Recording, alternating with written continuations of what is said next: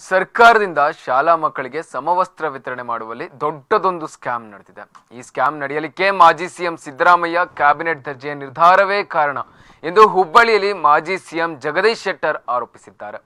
ಈ ಬಗ್ಗೆ ಸುದ್ದಿಗೋಷ್ಠಿ ನಡೆಸಿದ ಅವರು, ದಾಖಲೆಗಳನ್ನು ಬಹಿರಂಗಪಡಿಸಿ ಕಮಿಷನರ್ ಹೊಡೆಯಲು ದೊಡ್ಡ ದೊಡ್ಡ ಕಂಪನಿಗಳೊಂದಿಗೆ ಶಾಮೀಲಾಗಿ ಸುಮಾರು ತೊಂಬತ್ತು ಕೋಟಿ ರೂಪಾಯಿ ಅಕ್ರಮವೆಸಗಿದ್ದಾರೆ ಅಲ್ಲದೆ ಶಾಲಾ ಸಂಸತ್ತಿಗೆ ಇರುವ ಅಧಿಕಾರವನ್ನು ಸಹ ಕಸಿದುಕೊಂಡು ಎಂಟು ಲಕ್ಷ ಜನರನ್ನ ನಿರುದ್ಯೋಗಿಗಳನ್ನಾಗಿ ಮಾಡಿದ್ದಾರೆ. ಇದರಿಂದ ಗ್ರಾಮೀಣ ಭಾಗದ ಉದ್ಯಮಗಳಿಗೆ ಹೊಡೆತ ಬಿದ್ದಿದ್ದು ದೊಡ್ಡ ಉದ್ಯಮಗಳಿಗೆ ಸಹಾಯವಾಗುವಂತೆ ನೋಡಿಕೊಂಡಿದ್ದಾರೆ. ಈ ಬಗ್ಗೆ ದಾಖಲೆ ಸಮೇತ ಸಿಎಂ ಕುಮಾರಸ್ವಾಮಿ ಗಮನಕ್ಕೆ ತರುತ್ತೇನೆ.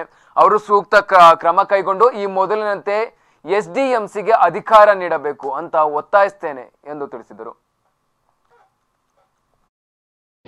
ಒಂದು ಆ ಒಂದು, ಆ ಶಾಲೆಯ ಕಮಿಟಿಯ ಮುಖಾಂತರ ಅವರಿಗೆ ಹಣ ಕೊಟ್ಟು ಅದರ ಮುಖಾಂತರ ಅವ್ರು ಖರೀದಿ ಮಾಡಿ ಸ್ಟಿಚಿಂಗ್ ಮಾಡಿಸಿ ಅಲ್ಲಿಲ್ಲ ಸ್ಥಳೀಯವಾಗಿ ಸ್ಟಿಚಿಂಗ್ ಮಾಡಿಸಿ, ಮತ್ತು ಆ ಶಾಲೆಯಲ್ಲಿ ಆ ಸ್ಟಿಚಿಂಗ್ ಮಾಡುವಂಥವ್ರು ಅಲ್ಲಿ ಆ ಹಳ್ಳಿಯಲ್ಲಿರ್ತಕ್ಕಂಥ, ಆ ಭಾಗದಲ್ಲಿ ಇರ್ತಕ್ಕಂಥವೇ ಬಂದು ಟೇಲರ್ಸು ಸ್ಟಿಚಿಂಗ್ ಮಾಡಿಸಿ ಅಳತೆ ತೆಗೆದುಕೊಂಡು ಸ್ಟಿಚಿಂಗ್ ಮಾಡಿ ಕೊಡುವಂಥ ಒಂದು ವ್ಯವಸ್ಥೆ. ಕಳೆದ ನಾಲ್ಕೈದು, ನಾಲ್ಕು ವರ್ಷದಿಂದ ಇದೆ.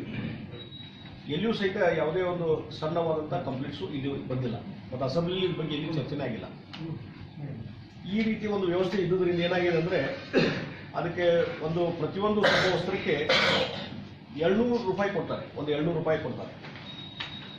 ಏಳ್ನೂರು ರೂಪಾಯಿ ಕೊಡುವಂಥ ಈ ಸಂದರ್ಭದಲ್ಲಿ ಅದರಿಂದ ಒಂದು ಏನಾಗ್ತದೆ, ಅಲ್ಲಿ ಎಸ್ ಟಿ ಎಂ ಇದ್ದಂಥವ್ರಿಗೆ ಅಧಿಕಾರ ಇರುವಂಥದ್ದು ಸ್ಥಳೀಯವಾಗಿ ಸ್ಟಿಚಿಂಗ್ ಮಾಡುವಂಥದ್ದು ಎಲ್ಲ ಒಂದು ವ್ಯವಸ್ಥೆ ಇದ್ದುದರಿಂದ ಮತ್ತು ಅಲ್ಲಿಯೇ ಬಟ್ಟೆ ಖರೀದಿ ಮಾಡುವುದರಿಂದ ಒಂದು ಉದ್ಯೋಗ ಅವಕಾಶ ಸಿಗ್ತಿದೆ. ಒಂದು ಕಡೆ ವಿದ್ಯಾರ್ಥಿಗಳಿಗೆ ಅನುಕೂಲ ಸ್ಥಳೀಯವಾಗಿ ಮತ್ತು ಕಲರ್ ಚಾಯ್ಸ್ ಎಂಥ ಬಟ್ಟೆ ಇರಬೇಕು, ಏನು ಅನ್ನುವಂಥದ್ದು ಆ ಶಾಲೆಗೆ ಸಂಬಂಧಪಟ್ಟಂತೆ. ಅಲ್ಲಿ ಈಗ ಪ್ರೈವೇಟ್ ಸ್ಕೂಲ್ ಇರ್ತವೆ. ಅಲ್ಲಿ ಒಂದೊಂದು ಸ್ಕೂಲಿಗೆ ಒಂದೊಂದು ರೀತಿ ಕಲರ್ ಇರ್ತದೆ.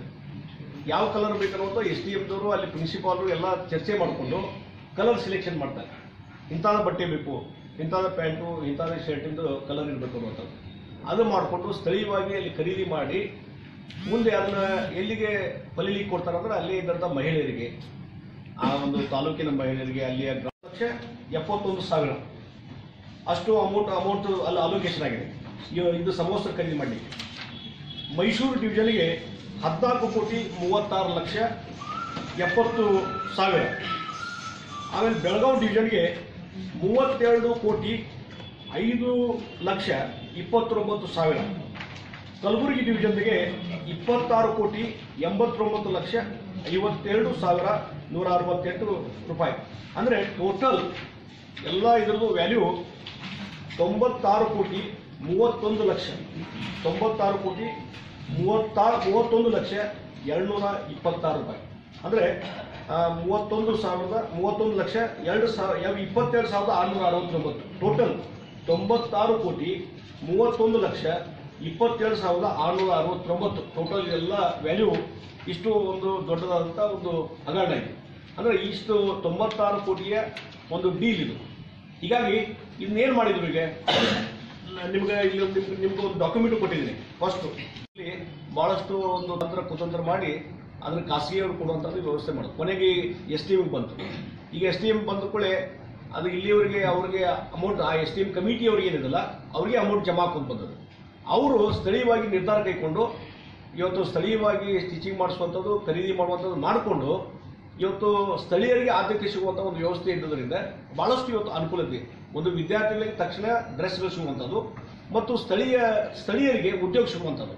ನೋಡಿ, ಸುಮಾರು ಅದರ ಬಗ್ಗೆ ನಾನು ಲೆಕ್ಕ ಹೇಳೋದಾದರೆ ಇವತ್ತು ನೂರ ಎಪ್ಪತ್ತೈದು ತಾಲೂಕು.